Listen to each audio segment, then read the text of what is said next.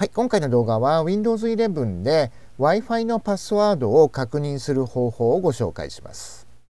で、Wi-Fi のですね、パスワードというのは一度ですね、設定をするとですね、まあその後また再設定するということはですね、結構少ないので、Wi-Fi のパスワードをね、もう忘れてしまっていてですね、それをちょっともう一度ですね、確認をしたいといったときに、まあもちろんね、ルーターをね、見るとですね、まあどこかにですね、このシールでね、このパスワードが貼ってあったりとかしますけども、いちいちね、ルーターをね、チェックするのはちょっとめんどくさいということであれば、現在の Windows 11ではですね、過去につないだことがある Wi-Fi のパスワードをですね、確認をすることができます。それではね、早速その確認方法ですけども、まあ、まずはですね、Windows のですね、設定の画面を開きますんで、Windows キーを押したままアルファベットの I を押して設定の画面を開きます。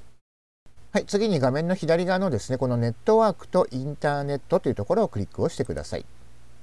はい、次にこのネットワークとインターネットの中のこの Wi-Fi という項目のところをクリックをします。はい、そうするとこの Wi-Fi の中にですね、この基地のネットワークの管理という項目がありますんで、こちらをクリックをしてください。はい、そうするとですね、過去につないだことがあるですね、Wi-Fi のですね、一覧がね、こちらに表示されますんで、その表示したいですね、Wi-Fi のですね、項目のところをクリックをしてください。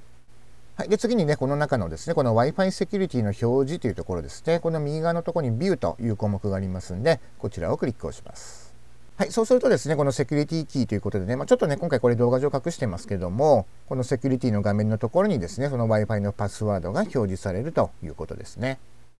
なので、例えばですけども、誰かね、知人がね、自宅に来たりとかで、Wi-Fi のパスワードを教えたいなんて言った時にですね、まあ、ルーターを見に行ってもいいんですけども、ちょっといちいち見に行くのが面倒だなといった場合はですね、この設定のところから Wi-Fi のパスワードをね、確認してみてもらえると便利だと思います。それでは今回の動画は以上になります。今回も動画を最後まで見ていただきまして、